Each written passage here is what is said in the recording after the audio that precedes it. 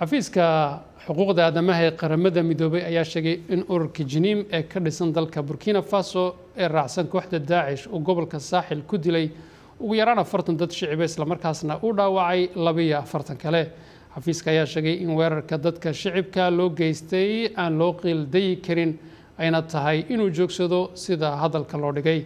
Hay'adda ayaa intaasi ku dartay in kuwa falkaasi geystay la soo qabqabto cadaaladana la hor keeno xafiiska ayaa intaasi ku daray in dadka si ugu tala ugu talagala loo geysto adhaade si ugu talagala loogu qaado weerarka ay tahay dembi dagaal. Waa sida uu hadalka u dhigay xafiisku.